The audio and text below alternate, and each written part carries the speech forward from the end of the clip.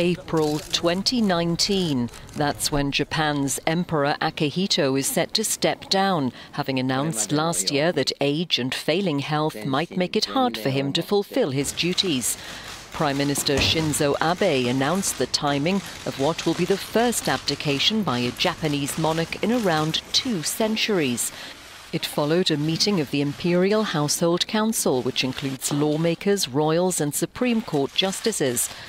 84 this month, Akihito is due to abdicate on April the 30th, 2019, with his heir, Crown Prince Naruhito, becoming emperor the next day, who in turn will succeed him, while Naruhito has only one child, a daughter, and under current rules she'll be prohibited from inheriting the males-only throne. Japan once considered its emperor to be divine.